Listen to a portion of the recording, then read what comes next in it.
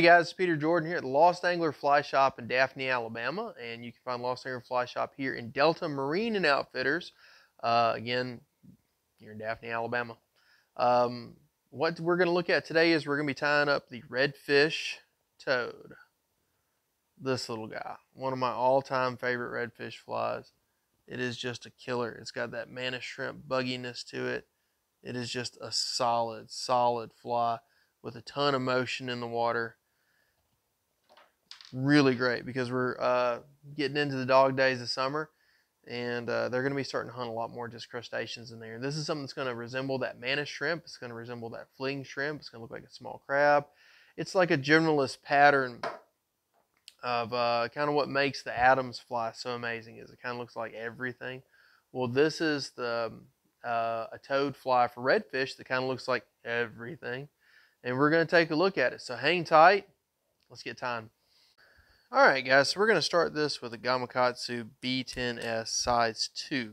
And a lot of people say, well, man, why don't you do uh, a more traditional saltwater hook? The reason I like the B10S is, one, I like the fact that it's black. Um, I feel like that just plays better with my fly, like when I'm doing my coloration.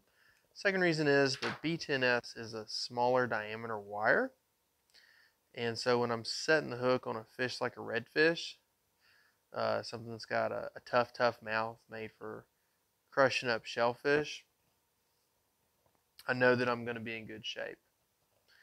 All right, so now that we've advanced the thread up and down, we're going to be using large brass dumbbell eyes. You pick these up here at the store. They're going to play really well with the color we got going.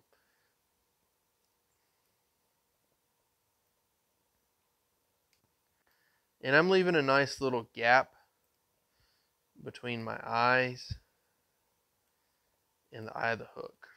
And this is so that if I decide later on that I want to add a weed guard, I can. So this gives me the option to fish it with a weed guard or without. All right, these are pretty well in it to win it. But because it is redfish we're talking about here, we are going to add just a little bit of super glue and just kind of go around it a couple ways. You'll be in good shape. There we go. All right, now we're going to move this to the back of the hook. The back, I'm going to go to a zonker strip. This is a tiger barred zonker strip.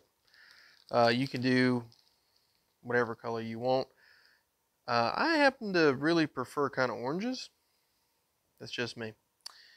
All right, so we're going to get this guy off of here. And I always like to tie in a little bit more than I think I'm going to need. And kind of the trick is you take your zonker strip and you pull that rabbit fur away. So that's not going to get in the way of what you're doing. So you're just cutting bare skin. All right. Then I'm going to take it and I'm going to pull a little bit of that hair away so that when I'm tying it down, I can just nail down some of this bare skin. And again, this is more uh, than what we're going to need. Okay. All right, this is going to go to the base of the hook, where you start to get the bend. All right, right on. Cool. Now, next step. One of the big things I get from a lot of people is, hey, you know, these, these flies can foul, and they really can. So what we're going to do is we're going to take some uh, monofilament and we're going to form a loop. Okay, we got it. And we're going to bring it over. Sweat your fingers and pull that down. That'll get out of the way. And we're going to form a loop. So it goes to each side.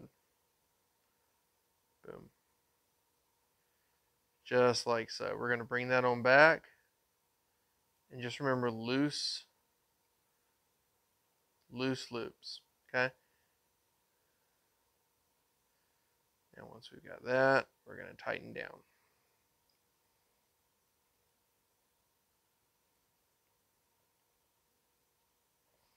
There we go. Now that's not going to let that come up and over. So not bad. Not bad at all. All right, now that we've done that, next step.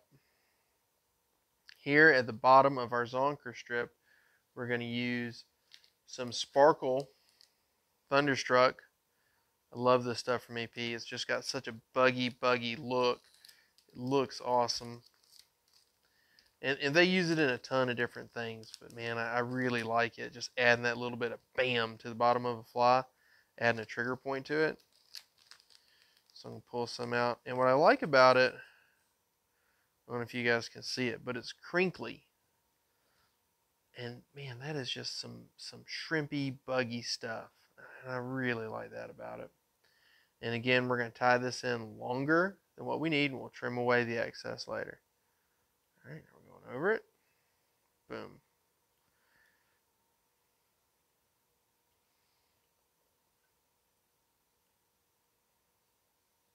Perfect. All right, next on the agenda, we're going to take some tan, or this is natural uh, ginger saddle hackle, and then we're going to take some EP brush right here. This is just a smaller brush. I just want to kind of go in and kind of give that iridescence. We're going to take that guy. We're going to tie him in first. Then we're going to take a good looking piece of hackle and I want uh, pretty pretty wide webbing at this point. Uh, Schlappen works fine. Uh, I just happen to have hackle in hand, which is good for me. All right.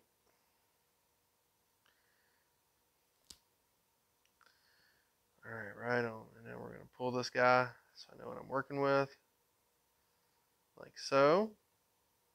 Pulling those fibers back so I know what part of that feather I want to start to work with.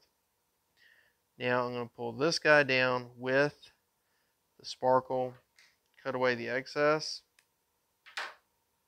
Then I'm going to take my hackle pliers, flip these guys up. We're just going to let these guys go on together.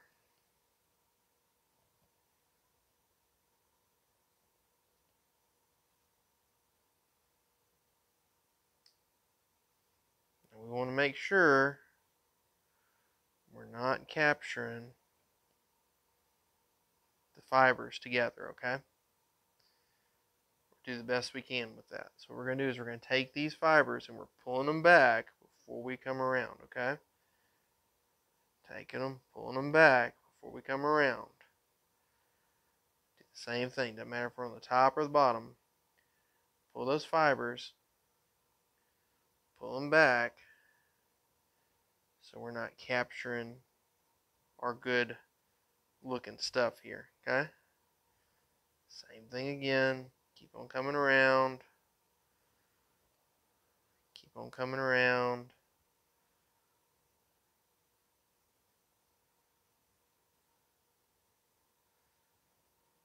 Oh, this is coming out very nice. All right.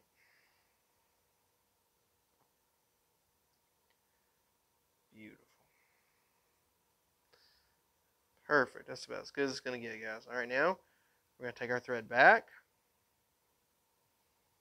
where we're at right here. Swap them around. Time off. And what I'm going to do is I'm going to put this on my on my mountains over here.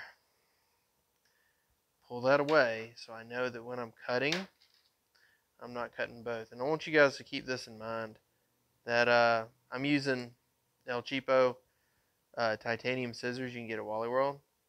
So that when I'm cutting through this wire, I'm cutting through the thread that I tried to avoid. Duh. Alright, so that went well.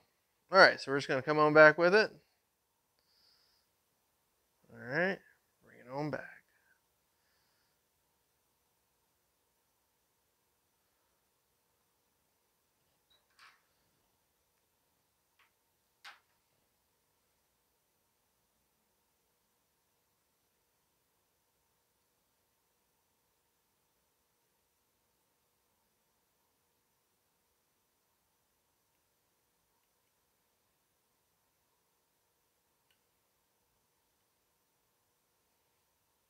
Sweet. Got it looking nice. Now we can take our brush Start to brush this guy out.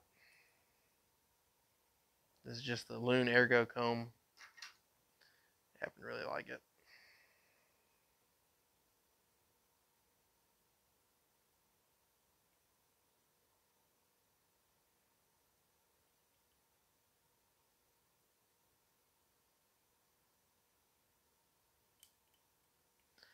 All right, right on, nice and clean. Everybody's captured up. All right, next. Let's add in some eyeballs. So we're going to rock the Enrico Puglisi. This is the UVX crustacean eyes. This is in yellow. And these things are super nice. They look awesome. Really, really, really good in the water. I'm using a bright yellow because it stands out against the uh, ordinary fly. Boom.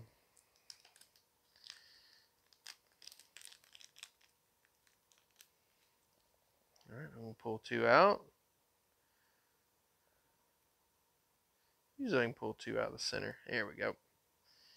All right, and I'm going to tie them on at the same length.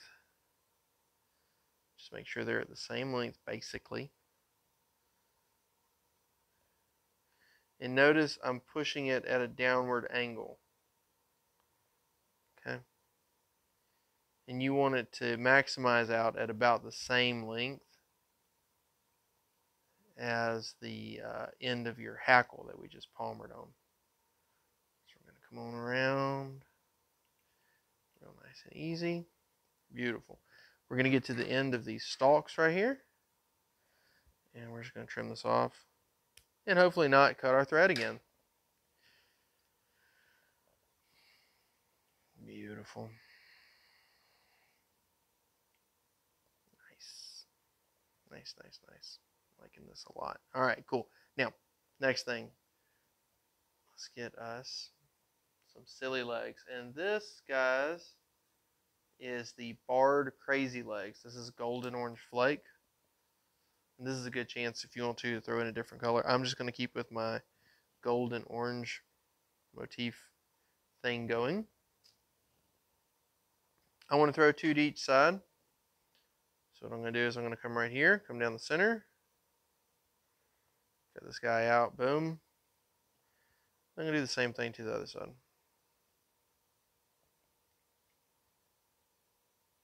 Boom. Very nice. All right.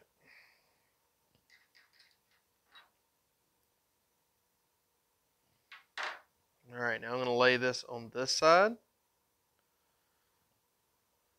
Wrapping around. And how my eyes went up Got to remember, this is going to ride hook point up. So how my eyes went up, I want these to go straight back. I don't want them to get in the way of my eyes. Or vice versa. And I'm just going to loop this around. And when we're putting it on, nice, loose loops, like so. Then we get done, then we can do it. Nice few tight loops. Get everything nice and cleaned up. Cool. All right, so next, let's start to add the body of this fly. All right, and for the body of the fly, we're going to be using EP Sculpt-A-Fly. This is 3D tan. And what I like about the Sculpt-A-Fly is it's already got my colors already in it. Uh, you can do a ton of different colors. You can do whatever you want to. Uh, you can mix and match so it's striped up. I'm just going to do just tan because that seems to work really well for me. Solid color is just fine. You can do multiple colors. And you guys, if you want to, if you don't want to uh, stack this in, uh, you can just take a brush. And that is a super fast, easy way to do it. So I'm taking this stuff, I'm taking it, breaking it down, cutting it in half, then half again.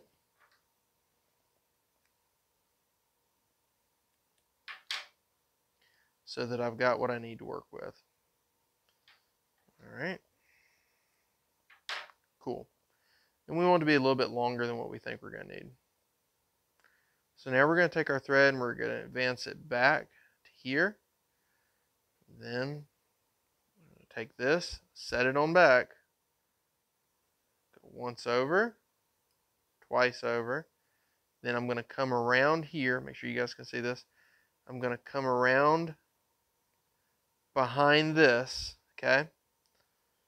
Then I'm going to come between these two. So I'm going to pull this one out of the way so that I make that figure eight, okay? Boom. And I'm just going to repeat this step going all the way down, okay? So that's exactly what we're going to do.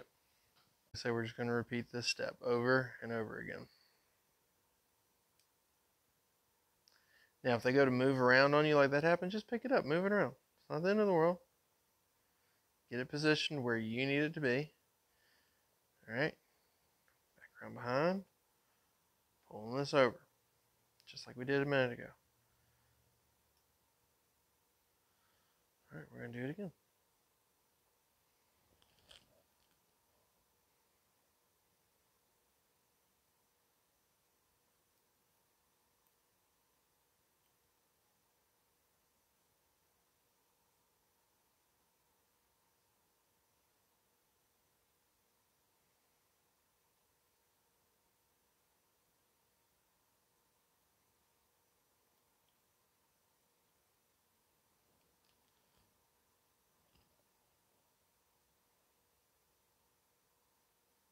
As you guys can see, I've already cut a number of these guys. So I just showed you guys how to do it on camera, just so it's a little bit easier for you guys. Just set them aside. Uh, normally two two hanks of that will do just fine. And you can tie this down to smaller sizes, like size 4 or whatever else you want to. And once you get used to doing this, uh, you can cut these uh, little sections and smaller pieces so there's a little bit less waste.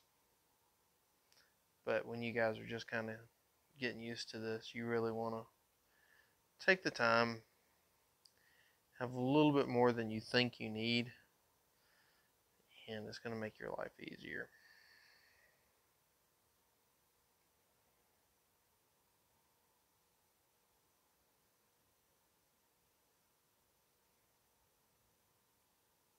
So it's kind of like doing dumbbells, dumbbell eyes on a fly. No real big difference.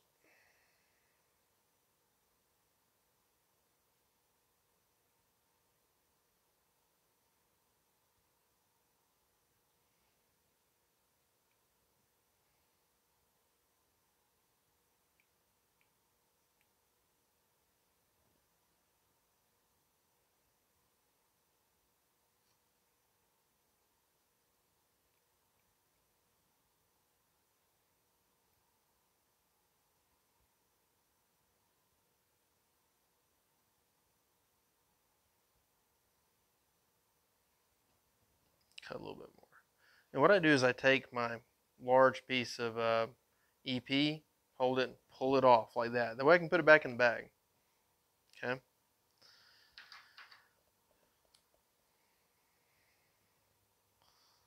All right. Do it again. Two more to do it, I'd say. Sweet.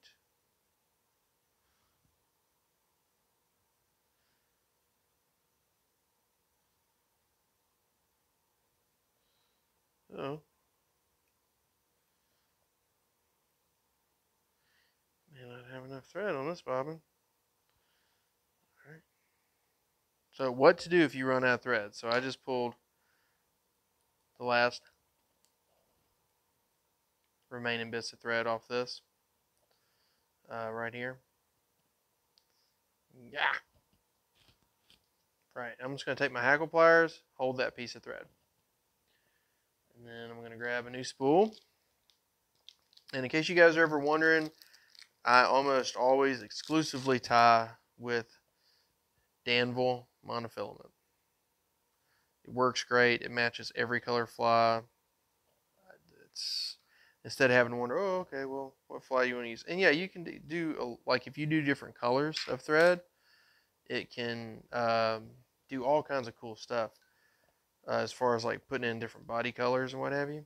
But you know, we're not really rolling that way today.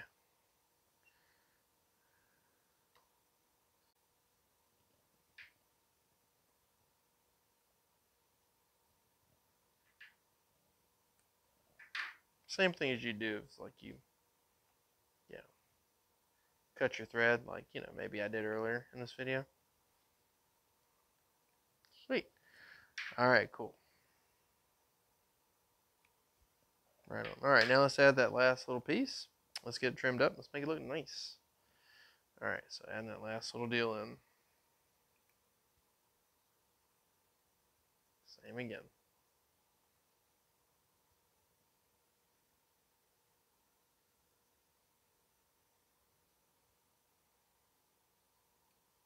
Boom. Looking good,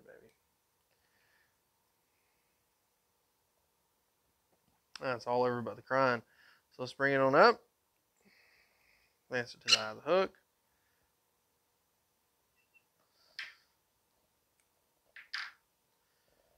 And you can whip finish at this point or you can just glue it, I don't care. I do two double half hitches because I'm weird like that, I guess.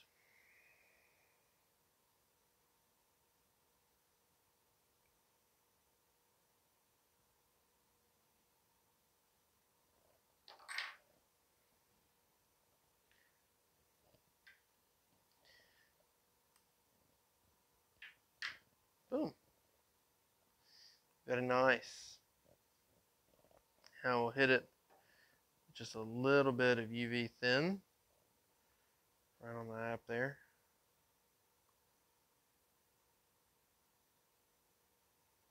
Careful not to get it on the eye of the hook itself.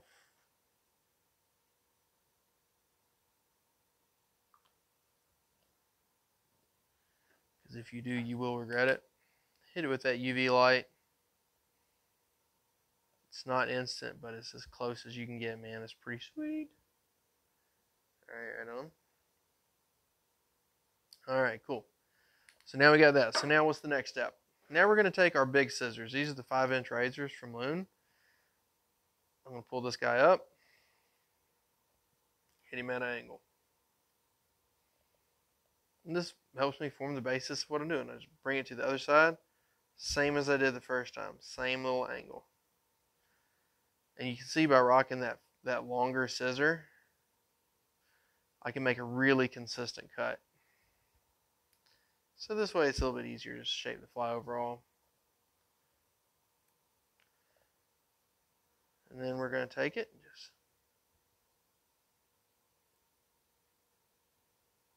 trim it down.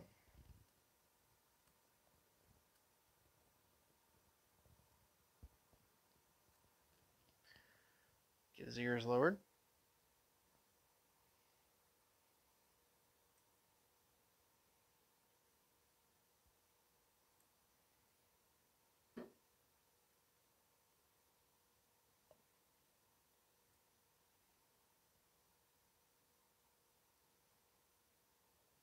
Alright, same thing again.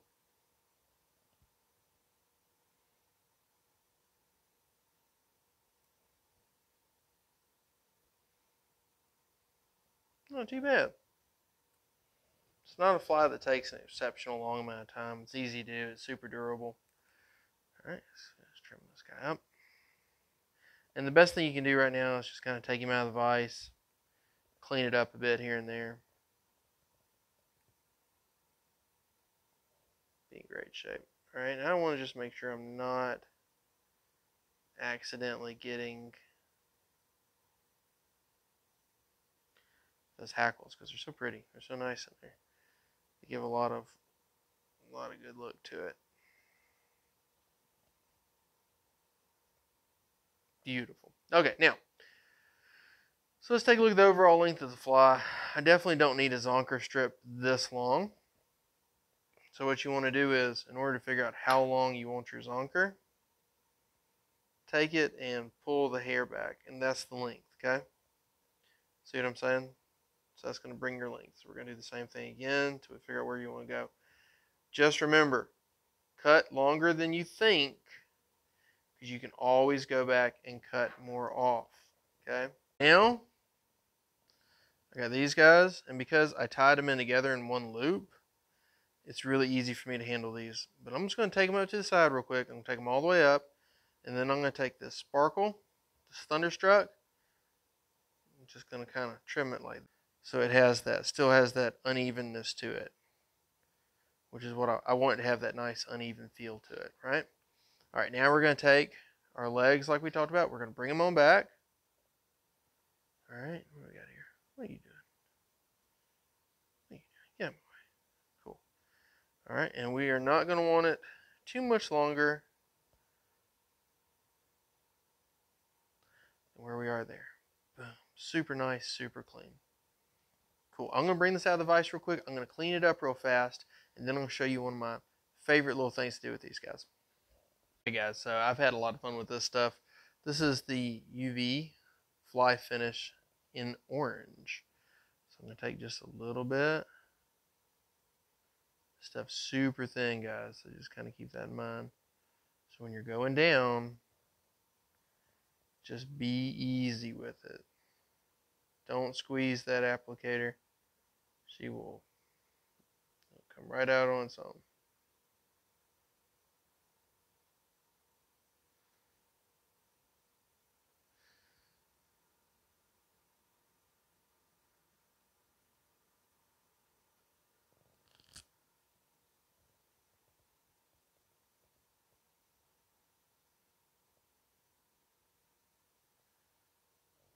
But you want to talk about adding a really cool little bit of color? Buddy, this is it. Oh.